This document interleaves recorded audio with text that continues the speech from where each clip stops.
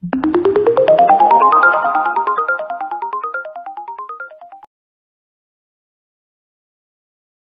always good to make sure that you have your grinding wheel dressed before you grind your lathe tools.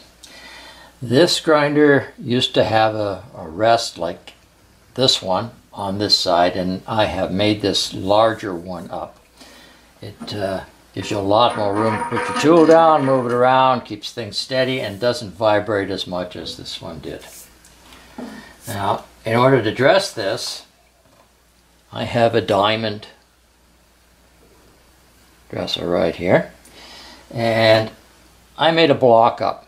The diamond dresser fits in this end and a 3 8 screw fits in the other end to adjust how far it comes out. Now I also put a ball bearing in here.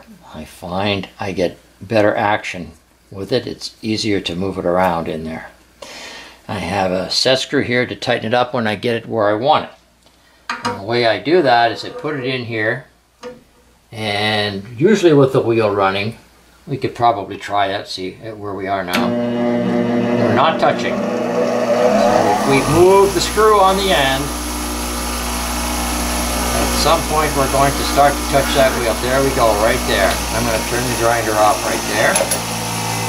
And I'm going to lock the diamond up.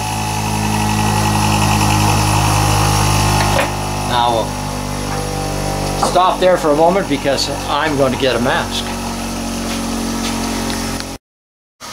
Always a good idea to wear a mask when you're doing this. Put the grinder back on. Have this bar that is screwed on to the plate here. There's a couple of holes in the plate. And we should be able to move this across and dress the wheel right now.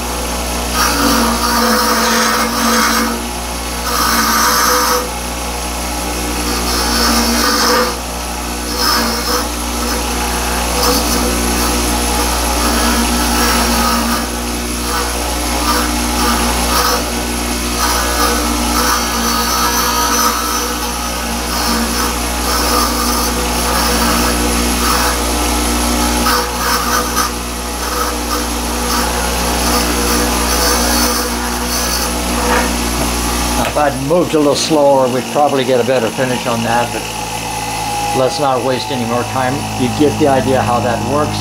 We're nice and parallel across. And we're ready to sharpen some tools.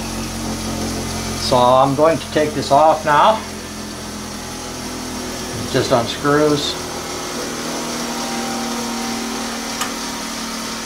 Put that over here where it belongs. And we can sharpen our tool bit. Uh, I should mention that I have this set at uh, somewhere between 2 and 3 degrees relative to the base of the grinder itself. And that will give me a little relief angle underneath here where I'm sharpening. And we'll start the grinder and sharpen tool.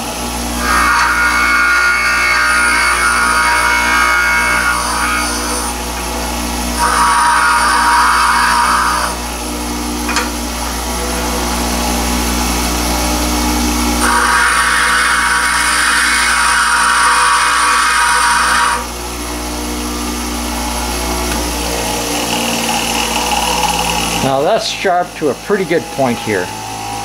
We're going to take that over to the lathe and we're going to cut something on the lathe so that you can see the difference between having a sharp point and slightly rounding the point, which gives you a better finish on whatever you're cutting.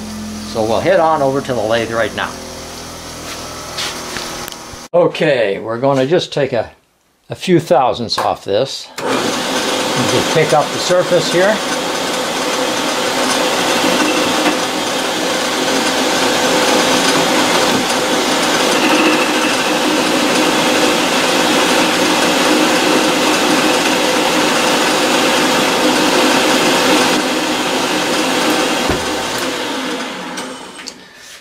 We'll take that tool back over and put a little bit of a radius on it.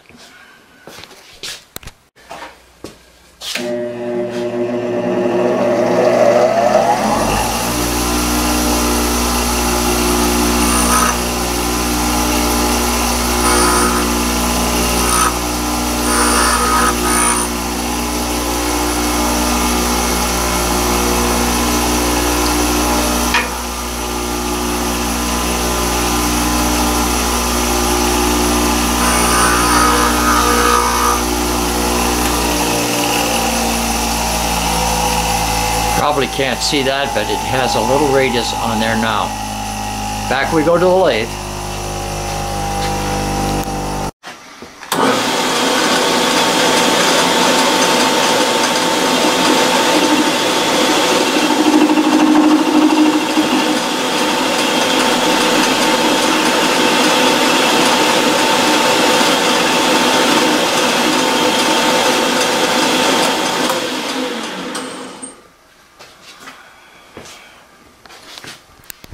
And try to get a close-up of this.